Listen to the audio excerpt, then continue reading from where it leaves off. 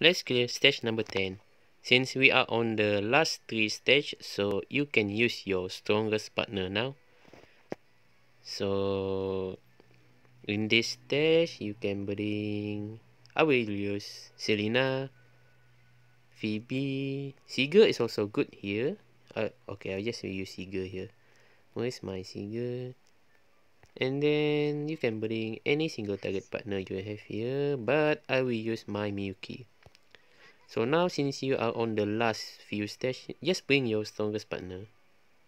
You're really really strong. And also you can bring Kasumi here. Uh yeah, this is this is enough. Let's get started. Seagull is enough here, I believe, because there is enemy barrier here.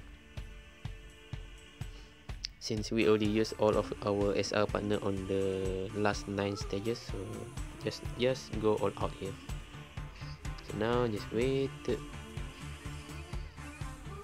Wait. Now drop your healer. Oh, yes, drop your Selena here. Wait for your energy to refill.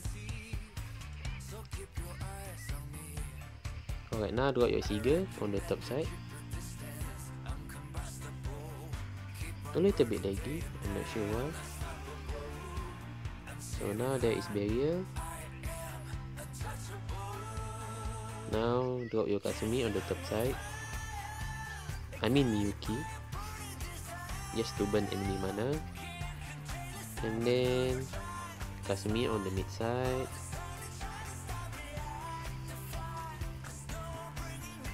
Almost now TV and that's it. That's how you play stage number 10 by using your strongest partner